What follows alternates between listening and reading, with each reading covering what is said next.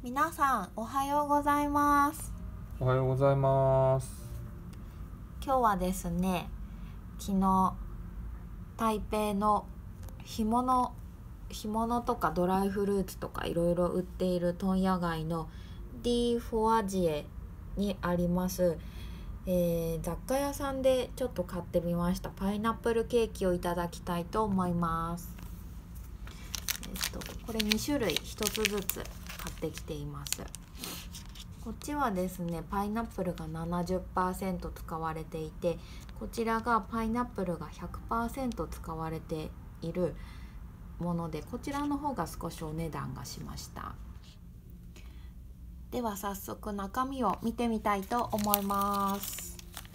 こちらはですね70%のパイナップルケーキの方になります。見た目はですねこれぐらいですかね？すごく今まだパイナップルの匂いはしませんがちょっとチーズが入ってるんかしらね？チーズの匂いがします。こちらが70%こっちが100%の方になります。あ生地の色が違う気がする。あれ一緒かな？大きさは一緒ですね。見た目でわかるんでしょう？100%の方が少し色が濃いですかね。中身の色がね。じゃいつもの原材料になります。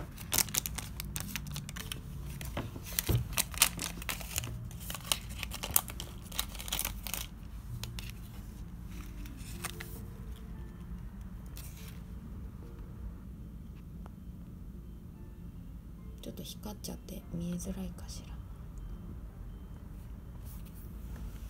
ここに100%と書かれてますね。ここです。ねこちらが70%の方です。ここですね。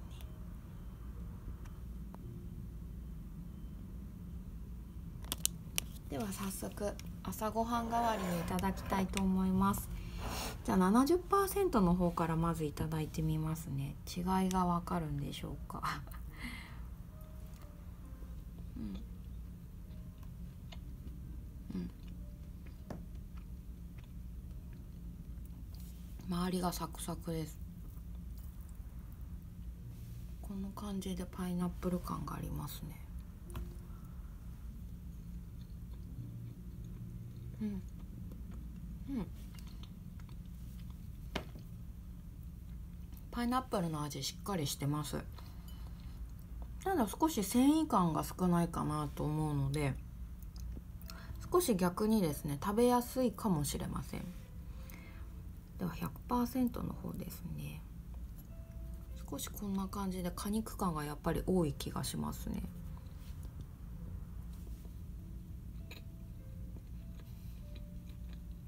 うん。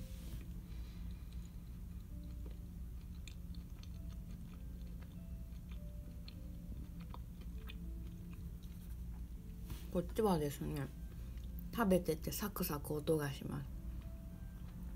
周りのサクサクはもちろんですが中のパイナップルの繊維感が強いのでパイナップルを食べているっていう感じですね。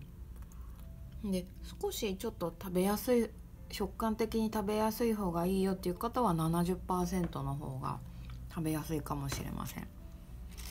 なんか多い方がいいんかななんて思いますが食べやすさとお好きな方を選ばれるとちょっと美味しいパイナップルケーキの食べ方になるかなと思います。是非皆さん台湾に来た際は参考にしてみてください。ではいってらっしゃい。